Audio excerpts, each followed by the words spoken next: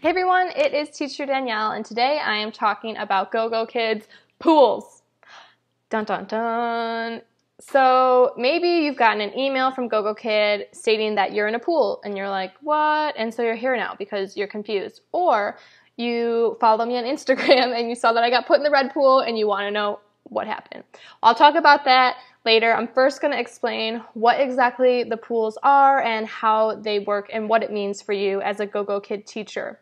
So, essentially, it's quality assurance feedback reviews that they're doing now. And so they say to improve their overall class quality, they sample classes regularly for review.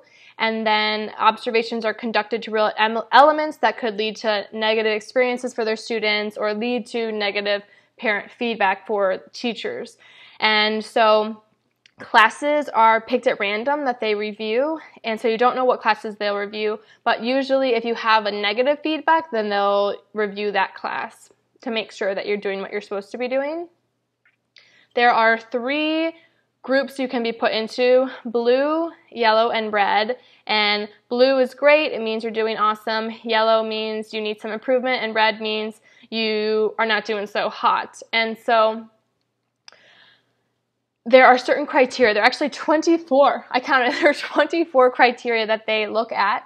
And I'm going to go over that after this, so I'll cover all what those are. But first, so the blue pool means that you had no fails and less than five needs improvements on their criteria. That means you're doing awesome. Keep up the good work. The yellow pool means that you had no fails and five to seven needs improvements, and that leads to one credit score deduction. You don't lose any of your pay, but you're observed a little bit more regularly around every three weeks. And you, from there on your next eval, you're able to either move up to the blue pool, you could stay in the yellow, or you could move down to the red pool. The red pool is if you have one or more fails and or more than seven needs improvements and that leads to a credit score deduction of minus two and then you're observed weekly um, they may request you to attend a workshop and you lose pay for that class. On your next eval you can either move up to the yellow pool or if you stay in the red pool you may be terminated. So i'm feeling a little nervous right now being in the red pool but i'll go over that later so let me pull up the 24 criteria that they have. I'm not going to spend a lot of time talking about these just because there are so many of them, but I'll give you the gist. So, number one, start class on time. Either you started class on time or you were late for class by more than one minute. Class length, so always screenshot classes. I say no matter what, just screenshot when your class starts because um, they still don't have playback for teachers yet. Class length. The class either lasted 25 minutes or it did not. Or if there was an IT issue or um, the student was late, staying until the 25 minute, 28 minute mark. No leaving contacts. Pretty self-explanatory. Not giving out WhatsApp. You can't talk to the students outside of the Go Kid classroom.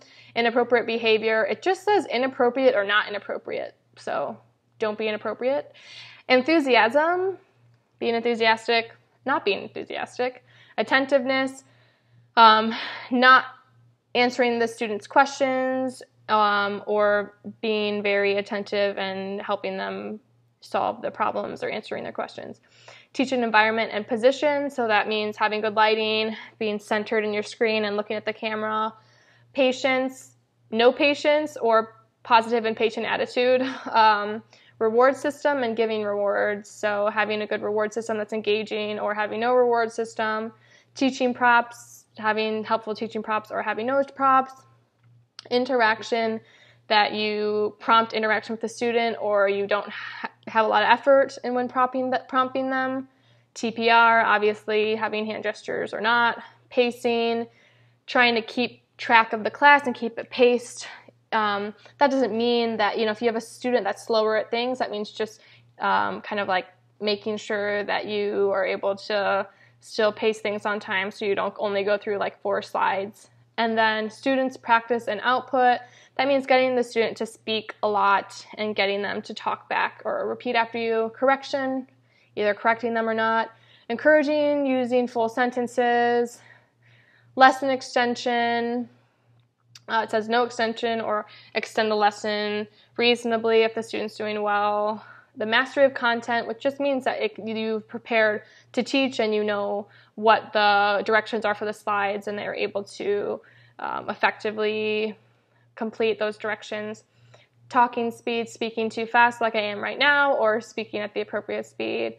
Levels of words used is appropriate, so that's even like if you're using too difficult of language for the student, making sure that you're speaking to them and what their level is. Incidental language, giving instructions, which means providing clear instructions for the student, and, um, making sure they know what they're supposed to be doing. Class activities, it just says no class activity or more than class activities. So if somebody knows what that means, that would be great if you could comment below because I'm not totally sure about class activities um, because, yeah, I'm not totally sure. Okay, meaning presentation. Presented meaning by reading or, um, you know, so using certain things to make sure the student understands what content is being presented to them. So those are the 24 criteria, and if you want to know more about them, I can send you more information on it, but it's pretty self-explanatory.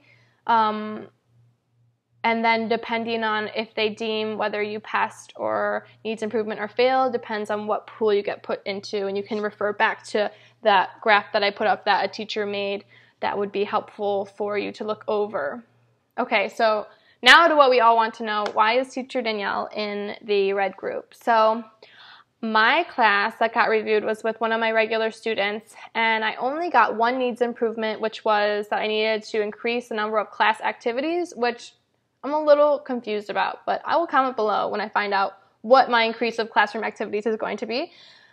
But I failed on teaching to 25 minutes. So with Google GoGoKid you can't exit the classroom until you hit the 25 minute mark. Um, but I had system IT issues in the beginning of that class. There have been some issues with Chrome, and I screenshotted those even when I had the issues because I screenshot everything. But um, because I didn't extend the class to 28 minutes at the end. She got through the lessons pretty quick and I ended around 26 minutes. So because I didn't stay that extra two minutes, they failed me and they said that um, I they told me they even counted the minutes. I'm not sure how, but they said we also noticed you finished class at 23:29. So I should have extended for another minute and 30 seconds. Um, even though I was in the classroom for 26 minutes. So this is just a lesson to me, even though it's really frustrating in my mind that just no matter what, if you have IT issues or um, if there's system IT issues like what I had or the student is late, just stay that 20 min- 28 minutes. Don't forget to just stay that 28 minutes. It's important. And if that's the class that, that they review, then it can really come back to bite you. So I've been a little bit paranoid teaching the last couple of days after I've gotten this review just because I know they're going to review me again now in this coming week. And you don't know what class you're going to pick. Overall, I'm not worried because I'm a really strong teacher and I only had one needs improvement, but uh, as long as I stay good on the time. But it does just make you worry in case you have like a lighting issue or things like that. So I would just make sure to really screenshot everything. Something that I was confused about that I think is important for you to know is when does the credit score deduction occur if you are placed in the yellow pool or in the red pool? So I emailed quality assurance and they said they deduct points when they send the email to the teacher. You can read it here. It won't show up until about five days later because the system takes a while to update, which you know if you are a GoGoKid teacher, usually the payment tab and the credit score system are about five days behind.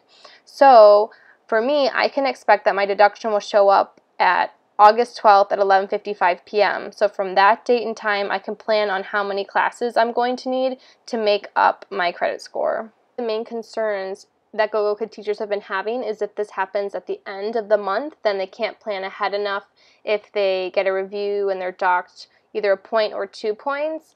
And so I'm starting to worry a little bit about the end of the month with GoGoKid, and I'm thinking it might be a wise idea for teachers who teach for both companies to maybe, you know, uh, for me, I like the GoGoKid curriculum and pay better, like I said, so maybe doing most of the month with GoGoKid, but near the end of the month and giving a lot more hours to VIP Kid. That could be a good option for people that are a bit turned off by um, these reviews and being worried. So now you know my red pool story, and hopefully you understand the pool system a little bit better.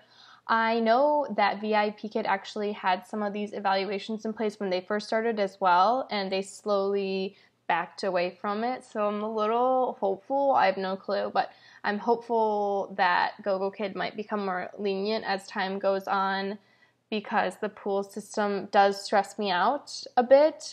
But overall, I really still like working with GoGo Kid because the pay is great. I like their bonuses. I love my students. So I'm going to stick with it and I'm going to work on getting up to the yellow pool, hopefully, my next evaluation. So I'll keep you updated. We'll see. But yes, if you have any questions or you want to share your experience, either email me or leave them in the comment below. My email is it's teacherdanielle at gmail.com. All right, everybody, happy teaching. Bye bye.